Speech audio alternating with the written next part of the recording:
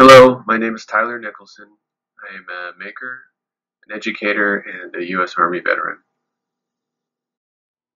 As a boy growing up in America, I was inundated with uh, toys featuring war or violence or masculinity or guns or anything like that. It was just part of the day to day life for me.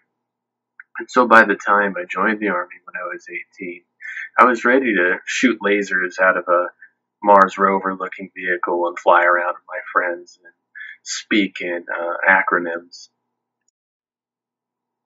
Additionally, I had watched enough war movies and had a couple friends that went in before me. And the recruiter uh, ensured me that I would be ready, and then the job I picked, I would be doing all the cool stuff all the time, be firing rockets all day long. By the, you know, I'd fire so many rockets, I'd be tired of firing. And the material, the mailers that they would send out were all really encouraging. Like I was going to lead an army life. I was going to be the elite. I was going to be an army of one. And I'm interested in the relationship between the entertainment industry and the military industrial complex and how they work together to make this marketing magic that continues to influence uh, the civilian to justify war and to elect people that use the soldier as their bargaining chip to move policy forward, and how those two organizations uh, continue to influence the soldier while they're serving by harnessing this esprit de corps.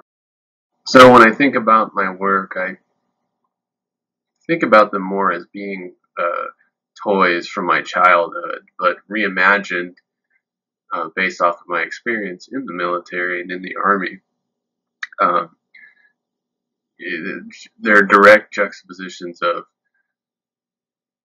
these hyper masculine and high technology toys and media that we're always consuming. And, you know, they're more a direct reflection of the time and place which I served. And things have changed so much since my service has ended. Um, equipment isn't as downtrodden, and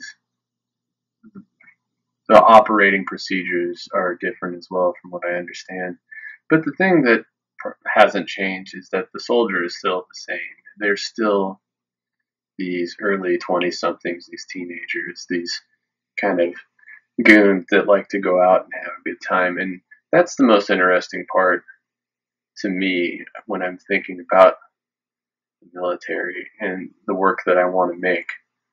My primary audience um, is the soldier or the you know the veteran uh, because I leave these little hints in my work and these nuances, these moments in time that it's all fairly relatable to us, those who have served, and kind of reminding us once again one of the million of times that something sucked or that how often we're standing in line doing nothing at all for hours at end or eating the worst food or being in extreme amounts of pain, but being told like, ah, just take a couple Motrin and get tough it out, drink some water, change your socks, um, and just for being a drunk lunatic and having to function in a professional setting, which is, you know, troubling but hilarious at the same time. I find I'm conflicted when making my work sometimes because I feel at the same time drawn to these moments in my past, even the worst ones, and also repelled by them.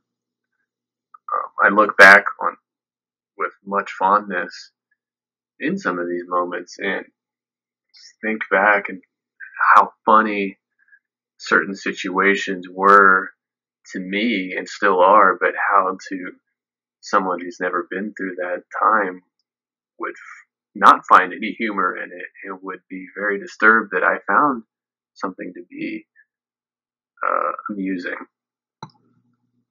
So I you know, find myself wondering, how do we move forward from here?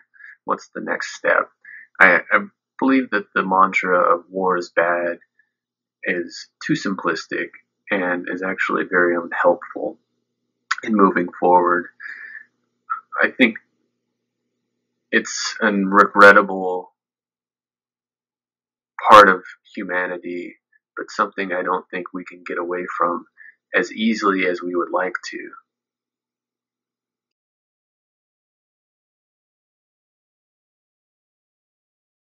And it's important to mention that in one form or another, we are all participants in the industry of war.